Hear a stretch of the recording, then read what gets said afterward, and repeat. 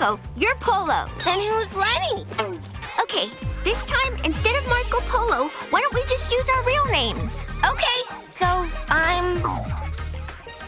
Lincoln? Boy, you really don't get this game at all, do you?